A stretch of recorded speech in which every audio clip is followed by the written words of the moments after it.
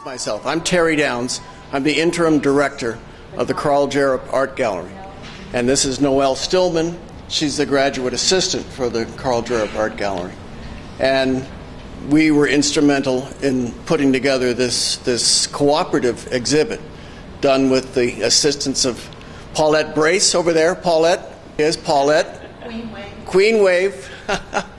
Annette Mitchell area artist and, and famous regional artist as well. This is a special exhibit, and it was not planned.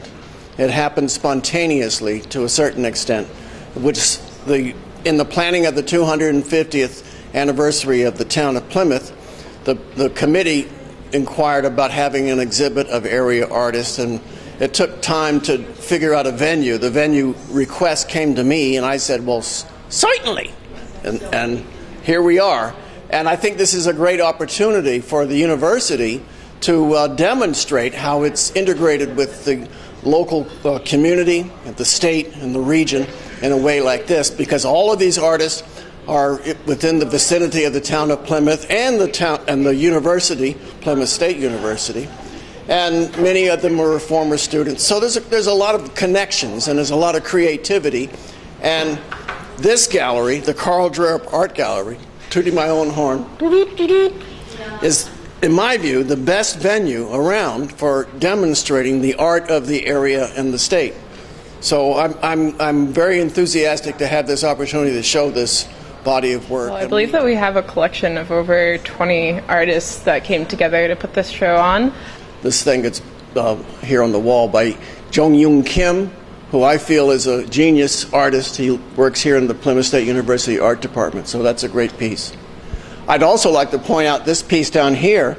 This is by Jim Fortune, who's an area artist, lives in Holderness. And this is a wood engraving he did back in 1965, and under the tutelage of Karl Drerup, whom the gallery is named.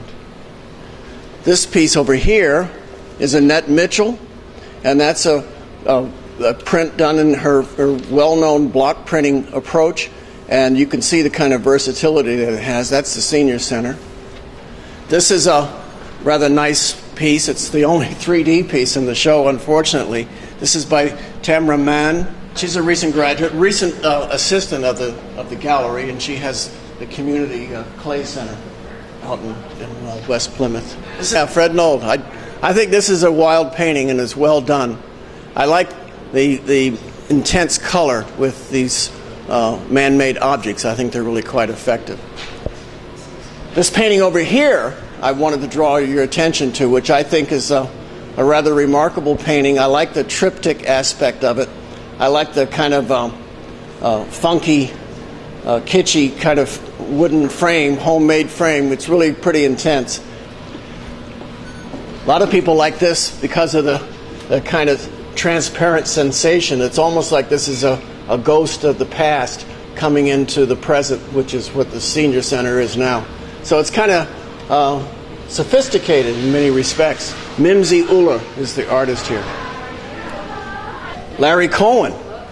This is an old landscape painting of his that he did a long time ago. It's got that sense of a blizzard, which is uh, I was saying earlier about winter paintings. You don't. It's hard to do. You don't see too many of them. This is shopping for art at Artistic Roots, and she's made a, a whole series of these kinds of uh, uh, works on paper with ink and watercolor, and uh, she has a, a kind of spontaneous, casual response to it that gives uh, a sense of life and movement to her work. And it'd be nice to have a show of hers somewhere around here.